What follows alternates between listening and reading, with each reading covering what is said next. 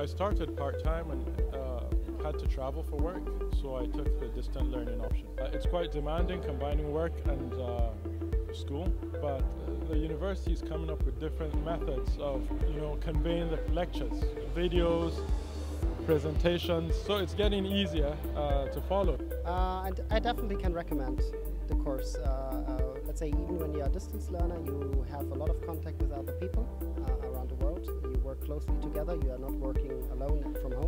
It was so diverse. There were so many people from you know lots of different countries, um, and we formed study groups and we done Skype calls and got to know each other over you know cameras. First of all, the uh, the international grill, the combination you get here is second to none. It really gave the opportunity to someone that had kind of finished their academic career and had gone into the business world and started a family. Secondly, the uh, quality of information and exposure you get to the industry is probably second to none as well. Uh, it's, it's, a really good university. I'm really glad I came here. Leadership Week basically is uh, helping a lot to, to get in touch with people uh, and to stay in contact afterwards, uh, meet them personally. So yeah, I can de definitely recommend.